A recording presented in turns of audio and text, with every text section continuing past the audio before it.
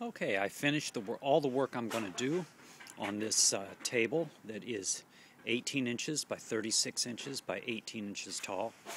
Uh, this is my scrap wood table made out of scraps, and uh, I have it sitting out here by the outdoor fireplace on the edge of the patio and a couple of you know old spare chairs that we've had around, and uh, basically it looks it looks pretty good. It looks the way I want it to look.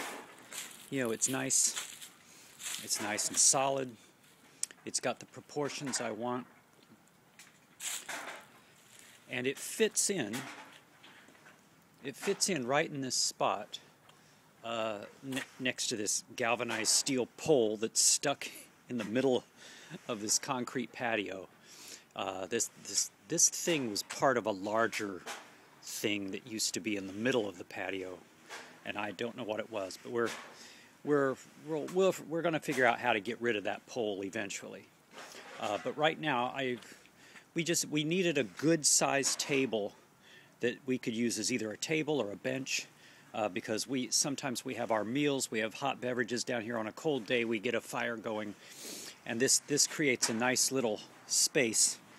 I'm gonna I'm gonna sit down you know, it creates a nice little space to sit down in. And so, so this works. This works pretty well. And also, you know, when I touch it, when I sit on, it's very, it's, it's, it's nice and solid now. So, uh, that's as much as I'm going to do on this piece. This is conceived as a very rough piece um, and as a, kind of a practice table.